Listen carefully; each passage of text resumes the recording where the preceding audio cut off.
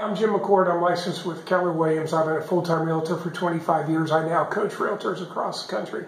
Today I'm going to share with all you guys the importance of drone use, aerial photos, and aerial videos. If you're not using it, you're missing out. Why do I say that? Well, let's talk about buyers first. Buyers today, almost all of them are getting on their phone, they're getting on their computer, and they're putting in their parameters. They're doing a search. Doesn't matter whether on Zillow, Realtor.com, Keller Williams, Remax, Coldwell Banker, whatever site, we all share our listings. They put their parameters in and they see one photo of all the matches. And if that first photo doesn't grab them, they're not going to click on it to read your incredible marketing description or maybe see the other great photos. The first photo is the most important thing in marketing in today's real estate world. This is what it looks like on Zillow.com. All they see is one photo of the house, a price, an address, a short description.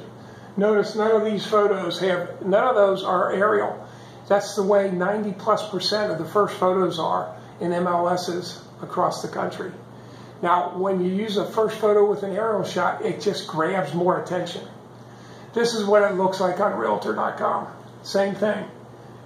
All their listings come up, one photo of the house, an address, a short description, and a price. That's what they see. And it's exactly like that on all the real estate sites as well, all the company sites. Now that was buyers, why you need to use it for buyers. This is why you need to use drone photography for listing presentations. You're missing out on listings if you're not using drones. All these listings my partner and I got because the previous agent did not use aerial photography and we told them we would. Photo on the left of all of these is the first photo the previous agent used. Look at that. It looks like a barn.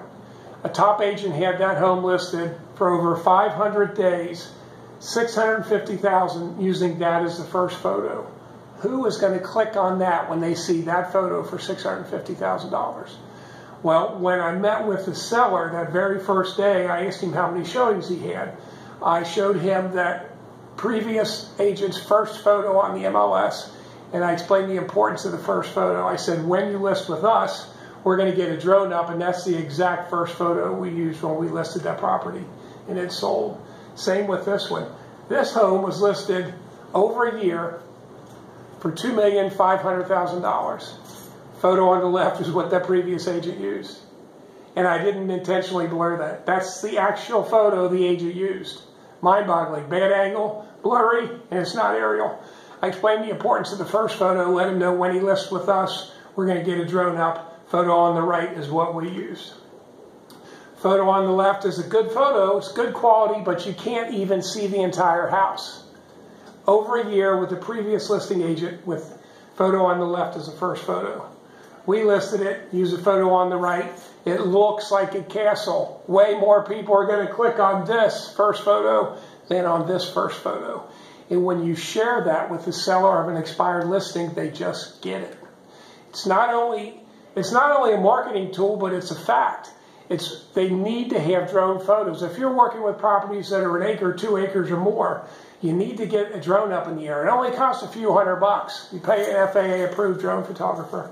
This one was listed for over two years for over $2 million using this photo. Previous agent used this photo as the first photo. Got very few showings. We listed it, got a drone up, got a picture of the lake. She owns all that property. 10 acre lake, two homes, a swimming pool, and we got more showings in the first week than the previous agent had in two years.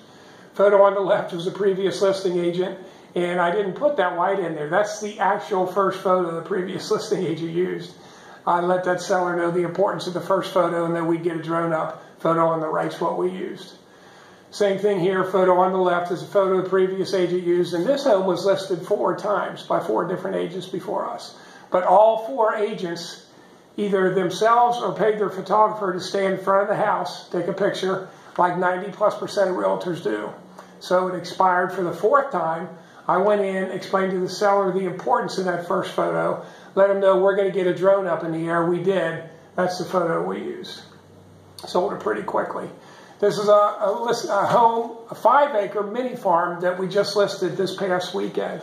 I didn't even want to list this one. I wanted to tip it to another realtor. I called five or six realtors in that area to try and tip it. And I let them know they had to use a drone photographer. None of them were willing to do it for a $279,000 listing. They weren't willing to spend $400 to get drone photos and a drone video of a $279,000 listing. So I went ahead and listed it with a partner. That's the photo that we're going to use as the first photo. So what's the moral of this video? If you're not using aerial photos and aerial videos, not just one photo, you want to use multiple photos in your MLS and the virtual tour of these kind of properties, you want to be an aerial video.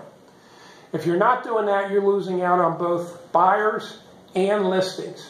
You saw how we got those listings. Now imagine you going in your market, looking at the expired listings for the bad first photo or the first photo where they did not use the drone where they needed to use it. I created a website where I have this video and I actually have 18 other videos of revolutionrealestate.com. It's a free website. You don't have to pay. I don't require your email address and your phone number. I won't follow up with you, but I do have 18 training videos on there. And uh, I also wrote a book. It's called A Revolution in Real Estate Sales. Wrote that uh, last year in 2016. It's become a number one bestseller. It's $9.95 on Amazon. I've got uh, the drone tips in there, and I've got quite a few other tips that are unique to real estate. One thing I can tell you, this book is different than any book you've ever read when it comes to selling real estate. You order this book on Amazon for $9.95, you don't like it, you send it back to me. I'll send your $9.95 back. It's a good book. Thanks for watching. You guys have a great day. Start using aerial photography.